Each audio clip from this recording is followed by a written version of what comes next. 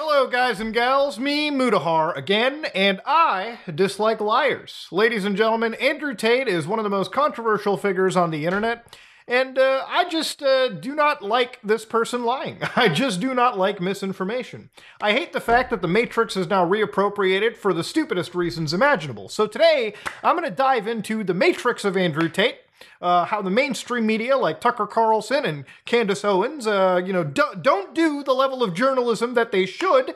And uh, I'm going to look through a court case that makes Andrew and, frankly, anybody in a situation that defends him look really, really bad. Now, I want to give a shout out to my friend Willie Mac Show. He's been on the podcast a few times, and he's pretty much running a train on every red pill idiot that you can find on the internet.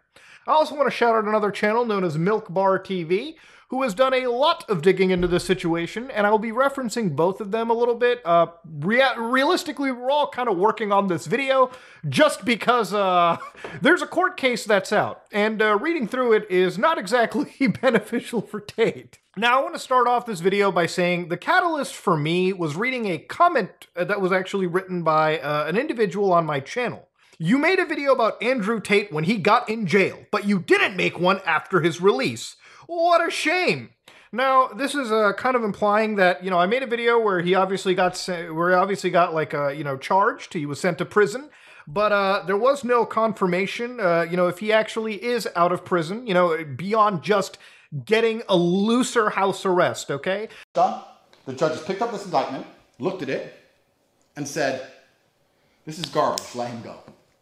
They're bulletproof indictment. After all I just described, they finally put together a document that the judges instantly said, let him go, this man should not be held. Oh, they let you go, huh, there, buddy? The judge just let you go? Well, I'm going to break through the matrix and I'm going to show you some nuggets of truth. Fresh from portal.just.romania. Right here, ladies and gentlemen, in regards to Emory Andrew Tate, Tristan Tate, Radu Luana Alexandra, and Naghel Georgiana Manuela. So I'm going to read you something here real quick. I'm going to show you what he's talking about, the judge let him go. So defendants uh, um, must comply with the following obligations. A, to appear before the preliminary ruling, judge or court, wherever, whenever they are called, to immediately inform the judicial body that ordered the measure or before, which the case is in respect of the change of housing. C, to report to the police body designated with their supervision, respectfully the police station in the territorial constituency, constitu- constituency of the defendant's home, according to the surveillance program, surveillance program drawn up by the police body or whenever they are called. Not to exceed the territorial limit of Ilfov County and Bucharest, except with the prior approval of the preliminary chamber judge or the court. Dog, they don't even let you leave the city or the county. That's like me trying to leave pro- the province of Ontario. Now, Andrew Tate has been a uh, flight risk, and that's not me saying it, that's literally by his own admission. Listen to this. If I fuck up big time and England wants me in jail, I can fly on a Nigerian passport, or an American, or an English, or a Polish, or an Estonian. I have so many fucking passports. What, are you gonna block them all? I've got four more I haven't even named on YouTube. They can't stop me traveling. There's always a passport I can pull out. There's always a driver's license I can pull out. If you ban one, I've got another one. I've got bank accounts in 19. Whoa, wait, hold on. You're telling me the prosecution was worried he was a flight risk? That's him admitting it, dog. That's the problem with just talking out of your ass. When you have so many lies floating on top of lies, and you have so much like bolstering, and you're trying to impress a 12 year old, you're gonna say shit that the prosecution doesn't forget. This they didn't forget. And that's exactly why he is on house arrest. It, they just like extended the leash a couple inches, all right? He's still chained into his home. He's still under investigation. So again, I wanted to address this because it was a little bit stupid by the amount of defenders over here. So again, ladies and gentlemen, let's dive further into his case right now. So according to Andrew Tate, Palm Beach County accuser sued by kickboxer Andrew Tate for alleged defamation.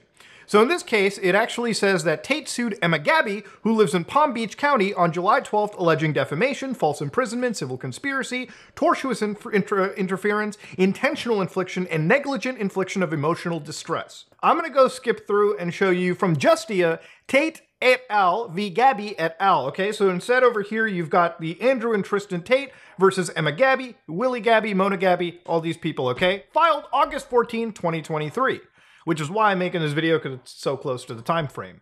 Now, what I did was I went to mypalmbeachclerk.com eCase View, I looked up Tate Andrew versus Gabby Emma. And in this situation, I found the complaint sheet right here. So you can click that little uh, PDF button and read this all for yourself. Now, this contains a, uh, a 57 page indictment, an indictment that I have read all of. You know why? Because I like to do my research. Because unlike some of these mainstream media figureheads that pick one side or the other, it's always worth reading through everything so you can get a full accounting of the entire picture. And this is not a good painting for Andrew Tate and the people that he's apparently defending in this entire situation. Now, in this complaint, Tristan and Andrew Tate sue defendant, and of course, they mention the parties over here. So, however, where it gets really, really disingenuous, or it starts to give me an aura of disingenuousness, is on point 27. Compared to Western Europe and the United States, Romania has long been known to be a traditional company with rich cultural history, traditions, and Christian values. Uh, Tate's, a, Tate's a Muslim brother now, okay? Come on now. Complying with the Tate brothers' personal convictions and worldview, because of this, beginning in or about 2015, the Tate brothers became full time residents of Romania. Indeed, the Tate brothers have gone on record saying through their spokesperson, Mateea Petrescu, that one of the reasons they chose Romania was because of the country's strong laws against abusing women. And ladies and gentlemen, uh, it's one of the things, but there's also another reason too that he stated not through a spokesperson. Why am I doing the hand vagina thing? Matt, not through their spokesperson, but through Fresh and Fit. Now, I'm going to paraphrase this seven minute long video, but if you want to find it, you can absolutely Google it on the internet and watch this for yourself. Generally, what Andrew says is he starts a webcam business uh, in his apartment back home in the United Kingdom, fires one of his top earning girls after a dispute. The cops bust in later on suspicion of him assaulting this person who he claims to also be a dumb hoe.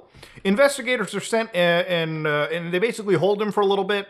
Uh, they find some new evidence, apparently according to Andrew, somewhere around 11 new charges, and then he claims that he could not live under this government and left to Romania because he also had a fight coming up there. Listen to this one real quick. Because she had no evidence and she was lying. Because all the other girls in the house went to on my And te- and testified said against she- her. She's lying. Yeah, right. So they're like, ah, okay, but we've been through his life. He has a Lambo and a bunch of pussy, and he's enjoying himself, and that's not allowed in the Western world. So we've been through his life, and we found 11 new reasons to raise crap against him. So I had mm. 11 new charges, blah, blah, blah, and I just woke up one day and said, I cannot live in this kind of, I will not live under a government that will do this to me when I've done nothing wrong. Mm-hmm. So I had to leave and go somewhere. And by coincidence, I had a fight coming up in Romania. So I went and fought in Romania. And I just thought, you know what? I'll hang around here for a few months. Mm. And then boom, You know, when you have so many fucking lies floating around on the internet, it's not that hard to contradict this idiot. So, the way that they describe Emma Gabby in this is she's a predator who has a long list of baiting men into relationships for the specific purpose of destroying their lives. She has a chain of victims going back several years to when she was a minor. She devises sophisticated narratives to elicit compassion and attraction from unsuspecting men. She uses these men as hosts, taking what she wants for personal, emotional, or economic gain. At some point, she begins to exert control through intentional infliction of emotional distress, causing injury to the host. If her efforts to control do not produce an immediate return on her investment, she revokes consent for prior acts and threatens to have her host arrested uh, unless her demands are met. So one of the other allegations is law enforcement uh, this uh, these lawyers bring is the uh, this Gabby individual has a long history of fraudulently misrepresenting her age on various dating apps and targeting older successful men. She has a combination of fake IDs and false narratives. Now, again, I want to start off by saying that this was all in Florida, from what I understand. Now, I looked up Florida law. 794.05, unlawful activity with minors, certain minors. A person 24 years of age or older who engages in activity with a person 16 or 17 years of age commits a felony of the second degree. All right, so, uh, okay, that, that's pretty messed up. But Muta, what if they lied?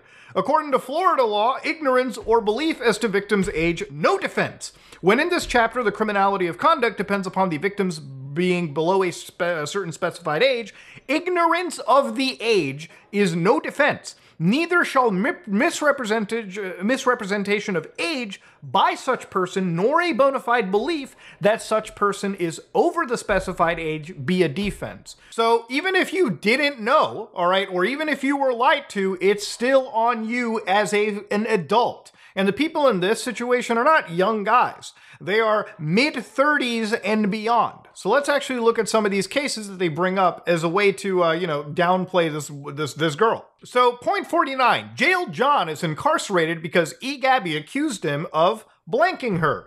Jail John is currently serving a lengthy prison sentence. His life has been utterly destroyed. The pattern of behavior used on Jail John repeats the same pattern of behavior used against other victims. Jail John was induced into an illicit relationship with a minor under false pretenses. According to Marlon Fisher, M. Fisher, Jail John performed deviant acts in the bedroom, such as urinating. Yeah, I'm supposed to feel bad for this guy. Now you might be like, whoa, who is this Jail John fella? Now, according to Milk Bar TV, now according to uh, Milk Bar TV and uh, how his assessment of Candace Owens' interview, one that we'll be looking at shortly later on as we go through this list, had come out and basically, uh, you know, outed that uh, this uh, Jail John individual is actually this guy right here. Now, this is where I want to bring up the uh, actual uh, people, the, I guess you could say, um, victims, it seems, if you read this entire docket yourself. These people are painted uh, in a way where they've apparently been taken advantage of by uh, E. Gabby, this minor at the time. Now, this guy over here, Jail John, uh, we looked into it, and based on, uh, you know, Milk Bar TV, he's pretty much confirming this is Keith Fox. But uh, again, if you actually go and check out Candace Owens, for instance, the Daily Wire host, she is actually so stupid that, like, literally two weeks ago, she uploaded Candace Investigates Andrew Tate's uh, Victims. And inside this video, if you go to like, you know, 16 minutes into it, they beep out like Keith Fox, the name. To do serious time because of it. So again, just you understand, she's got this trial going on with she is now with. But if you look at the actual lip movements from Candace Owens, it's pretty evident that she's saying Keith Fox. Now, I'm free to offer up a retraction. If I'm wrong, feel free to prove that I'm wrong. Now, according to uh, the actual indictment over here, the not indictment, but the actual uh, you know complaint, uh, at point 50, it literally starts mentioning, or sorry, point 51. M. Fisher, Marlon Fisher, came to understand that Jail John was sentenced to decades of incarceration because of Blank's accusations. Now, in this situation, um, it says that Jail John performed deviant acts in a bedroom. And so we went up and used Keith Fox's name and looked up, you know, actual like uh, news articles in uh, in the Florida area. And it turns out that Keith Fox was, you know, well into his late 50s. And if you actually read the article in the situation, it's pretty damning. First off, he is completely guilty and sentenced to 24 years of prison. So clearly there is, uh, you know, these decade-long uh, I guess, incarceration decades long. And also in the situation, Keith Fox, uh, you know, uh, the mom of the girl, you know, uh, E. Gabby in this case, uh, employed a private investigator who actually had caught these people in the act. So he had actual media that he could then show to law enforcement, which led to the actual incarceration of the scumbag.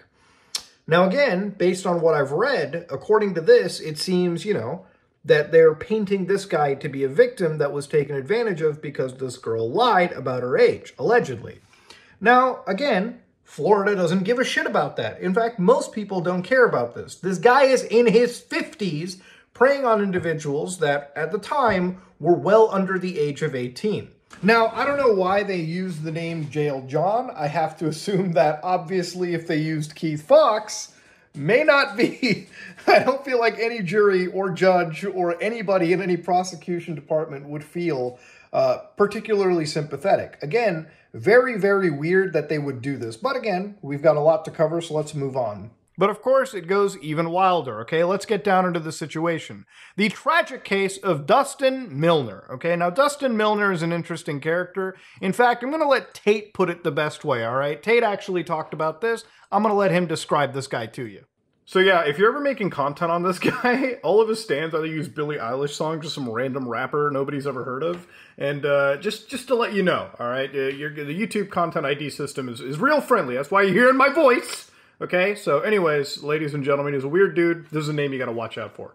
So the name that they mention here at the end of that is Dustin Miller. Obviously, Dustin Miller, we just looked at him. Now, Dustin Miller's story is the most heartbreaking of all. He uh, had actually ended up taking his own life, all right? And, uh, of course, the, true the two strongest sources of intelligence regarding this tragedy are Dustin Milner's brother, Jason Milner, and Dustin Milner's close friend, Adam Heinrich. So we're literally going with an assumption from his brother who, uh, you know, obviously, you know, that's clearly not biased right over there. Also, where is the accusation if these are the strongest sources of intelligence? These are two people bringing about their theory. It doesn't even appear that this is like overly. Con- Anyways, let's go into it. According to Justin Milner, so again, if called to testify, Jason Milner and Adam Heinrich would likely state that Dustin Milner quickly became enraptured by E. Gabby's mystique and seductive. Ch- She's underage, guys. What the hell? Which lured him into an extremely volatile relationship. So, Gabby allegedly manipulated, gaslit, and emotionally abused Dustin Milner, a person predisposed to depression.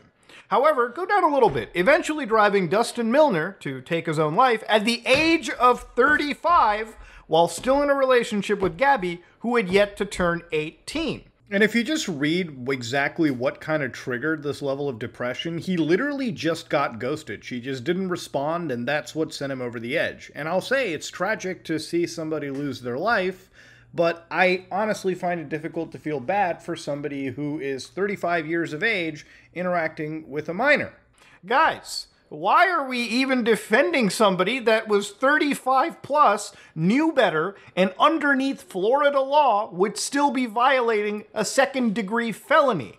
Why? I get it. It's a tragedy that it happened. Somebody took their own life. How you expect me to feel bad for a scumbag like that is beyond me, okay? Now, of course, the deception of Tyler Hensel. eGabby fraudulently induces Tyler Hensel into a relationship and extorts him. Tyler Hensel is another boyfriend of E.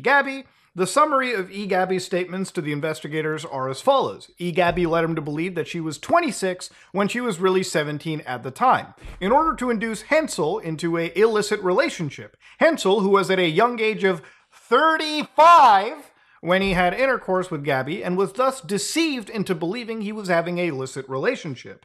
And at least in Tyler's case, reading into it, once he realized that there was an age mismatch, he was actually one of the people that broke off contact. Uh, not that he should have made it in the first place, but this might be the only guy that has like may- some possible level of redeeming quality out of the rest of the scumbags in this. What's even wilder in this situation is the defamation of Joel Friedman, okay? E. Gabby defamed a man named Joel Friedman to Marlon Fisher, okay? Another one of the scumbags in this situation. She was falsely accusing Friedman and then published said defamatory statement. So here they actually bring a text message that makes everyone that makes these adults look even worse. So this is a discussion between Marlon Fisher and Gabby. So read this out. E. Gabby, can I message him, Joel, to tell him I have a boyfriend? Uh, Marlon Fisher says, as you clearly understand, nobody cares you have a boyfriend, but if you'd like to tell him that he, you know, did you, by all means, you know, hurt you. Uh, E. Gabby says, I'd like to not put our relationship at risk. eGabby says, I'll gladly tell him when I'm 18 and anybody else that happened with. eGabby, so sweet you are. So you're breaking up with me because I don't want to tell Joel that he, you know, R-worded me? Once I don't know if he could tell other people I'm underage or when he would tell. And if they know I'm dating you, what happens next? Dog, you knew she wasn't 18. At your age, you are committing a fel. I'm supposed to like fucking sympathize with these people? These are the downtrodden men, these scumbags? Are you serious? Now, if you thought reading that was disgusting, I want you to listen to Candace Owens of the Daily Wire. You know, the same publication that's all about, you know, protecting kids and shit. Listen to how she describes the situation. Either she's getting paid off by the Tates, or she is genuinely stupid. So sweet you are. You're breaking up with me because I don't want to tell Joel that he me. One, I don't know if he would tell other people that I'm underage or or who he would tell. And if they know that I'm dating you, what happens then? Two, it'd be awkward to go to a drum circle again, lol.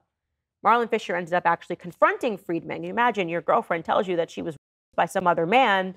How stupid are you? You literally just read to an admission that this person was in, this person was romantically interested. Literally sent a text message. How you, as the Daily Wire pundit, cannot chastise this dipshit for engaging with a minor, according to this text message, is beyond me. I want to ask the Daily Wire like how stu- like how can you actually let that stupidity fly by your network? Like Jesus Christ, it's insanity to me. She's wild.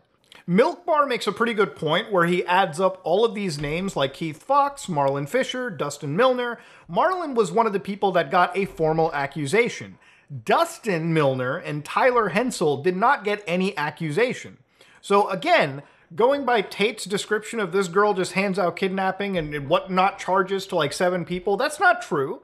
She wasn't for she she she like she she did not charge at least two of these individuals, all right? And the people that Tate is defending and bringing up in this lawsuit are utter scumbags. But again, the reason why I'm making this video is because I really don't like lies like this, and when I actually break out of the matrix, the Tatrix, so to speak, and I look down into these files, it's even more fucked up than I initially thought, and it makes me genuinely angry and sick to my stomach the more I make this video. So I'm gonna try wrapping things up.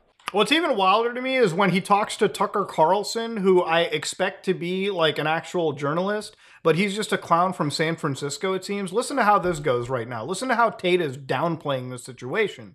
And these guys let him get away with it. Listen to it. So, what are you charged with? That's a really good question. I'm charged with being the head of an organized criminal group, which is in charge of recruiting girls to make TikTok videos to steal the money from the TikTok views. Okay, hey, Tucker, how about we just hire some people to like immediately crush him right there? This is not a hidden indictment, by the way. You can actually read this right here. The official indictment of Andrew Tate, Tristan Tate, uh, and all these other people. All their crimes and charges are listed and explained. An indictment right here that we can watch and read together. So this is from the June 15th. You can read this right now. So they formed an organized criminal group with the purpose of committing, uh, in other states, uh, the crime of human trafficking through actions of recruiting victims carried out by Andrew Tate and Tristan Tate, and subsequently under their coordination through actions of sheltering and transporting the victims. So they forced the victims to engage in pornographic activities, subjecting them to forced labor, forming an organized crime group, and so on and so forth. Recruited by deception, the defendant transported her from the UK and provided shelter for her in a building. And here's the thing, if the actual like people who followed Tate religiously learned how to read, yes, it's true. They mentioned TikTok in this indictment, but literally on page 1, before TikTok is even mentioned, they literally mention using the website onlyfans.com for this purpose and by subjecting them to forced labor then also using tiktok.com as a advertising funnel i assume is the more you read down in fact OnlyFans is mentioned 10 times, where they constantly say using the website OnlyFans subject to forced labor, using the website TikTok to attract over a thousand followers, because of course TikTok is a funnel to guide people into what I assume to be the OF pages. And then of course you can keep going down and they consistently mention OnlyFans. If you're going to lie, then you should at least learn Again, all it took was like 30 seconds of reading and control effing. Something that you can do in your spare time if you actually want to reach objective facts. Again, this is how you break out of the Tatrix. Uh, according to the indictment in 2016, Andrew Tate, using the application while in Romania, recruited by deception the victim by falsely inducing her about the intention to establish a family marriage relationship in the existence of false feelings, uh, you know, this actually fits the uh, description of the United Nations when it comes to tr- uh, human trafficking, uh, which is basically the recruitment, transport, transfer, harboring, or receipt of persons by the mean of threat or use of force or other forms of coercion. You know, if you actually read into like Epstein for a minute, it gets really wild because even in Epstein's indictment, now, if you read closely into Epstein's indictment, you can even see that Epstein actively encouraged certain of his victims uh, to recruit additional girls to be, you know, you know, put into bad situations. Now, again, this is weird because a lot of these guys make it out like human trafficking is from the movie Hostel, like it's sort of like overly dramatized, when in reality, in you know a lot of these cases, it really is just like the main ringleader recruiting one person, and then that person recruits another person and it almost becomes like a serious pyramid scheme of awful behavior. But the reason I'm bringing this up is just so we can play a clip from Tate, where uh, I, I, I just, I just want, I just want to see if uh, the audience here sees a similarity. Bottom bitch is the one who does the selling. You don't do the selling. The girl has to hear it from a girl. And this is where your bottom bitch has to be trained. That's why I said it's so important to have a good first girl. What's that first girl gonna do, huh? Is she going to go, you know, train the other one? Like, come on now, all right. This is getting to the point where it's it's almost a semantic argument at this point. These people are really, really predatory individuals, and a lot of these old clips do not work really well uh, for exonerating this individual in front of the eye of in front of anybody that looks at this with you know an objective lens. They'll be disgusted of the guy Tate really is. And it seems like as this case matures and more and more of this information comes out and more and more of this information gets referenced, it's not looking too good. Now, normally in situations like this, uh, by the time I'm finished these videos, I'd have a long sort of discussion about like, hey, why are you following people like this? You know, do you really need uh, somebody on the internet that's this interesting uh, to explain basic concepts like working hard, you know, doing what you can to be successful and uh, you know, eating right or working out. If that's what you need, all right, this information could be passed to you by anybody, a doctor uh, or whatever. If you're looking for a father figure, you can do a lot better than people like Andrew Tate and whatnot. Now, at the end of the day, I think realistically where I want to end this off at is based on everything that you've seen and these case documents that you've read. You know, a lot of people say, hey, don't let the matrix confuse you. We broke out of the Tatrix and we decided to read the information for ourselves. Now, again, if anybody wants to, you know, I guess play devil's advocate, which based on what I've read, it's pretty difficult to do so, then honestly, this should be a wake up call for anybody following this kind of behavior. If you want to be a good person, if you want to be somebody that's an improved version of yourself, then the best thing you can do is introspection, self reflection. Go look in the mirror, see where your inadequacies are, and honestly address them the best way that you can. If you feel you don't look good, there's ways to improve that. But sitting around and moping and fucking paying $50 for online courses isn't going to get you there. Working hard, improving yourself, even if it's like half of a percent each day, is better than nothing, okay? Because a year down the road, when you start looking into yourself and bettering yourself as a person, you'll see the changes. Of course, it requires you to put in work and effort, and that effort isn't going to be or sorry, the, the reward isn't going to be as clear cut for the amount of effort you put in in the beginning. But as you develop, you know, your habits, as you develop yourself mentally, uh, physically, emotionally, financially, the rewards, you know, we hope will come in due time. And even if they don't, at least you attempted versus following these idiots on the internet. But again, that's just me uh, diatribing into something that isn't really ultimately the, ultimately, the journey is going to be done by you. It's not going to be by people like me or Andrew Tate or anybody. It's all on you. You want to be an alpha? You create your fucking alphaness. You create your world. But ladies and gentlemen, based on Andrew Tate's um, cases, it's tough to follow this guy, and uh, it's tough to. It, it, the people that once defended him, it's getting tougher and tougher the more this kind of stuff comes out. But, ladies and gentlemen, let me know what you think in the uh, comment section below. Sorry for the sort of guerrilla style exit. Ladies and gentlemen, this is me, Mutahar, and uh, yeah,